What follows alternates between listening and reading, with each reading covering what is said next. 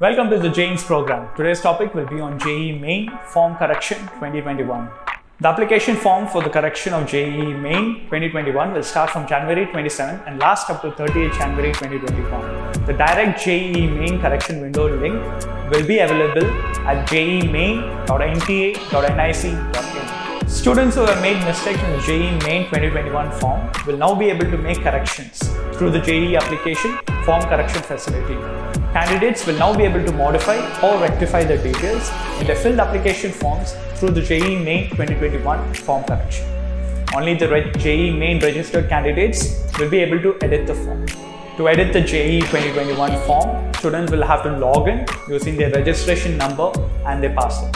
The JEE Main admit card will be issued only to those candidates who have filled and submitted their form within the specified time. The details you can edit using the JEE Main 2021 form correction window will be your name, your date of birth, your contact number, your pen and paper-based mode, your Aadhaar number, your communication address, your photo or image which you have uploaded, then you have the category and then you have the language. The details that you cannot edit using this window are you will be able to switch from a pen and a paper-based mode to a computer-based mode, but you will not be able to switch from a computer-based mode to a pen and a paper-based mode. The additional fees for the JEE main correction and the application fees will also not be able to edit.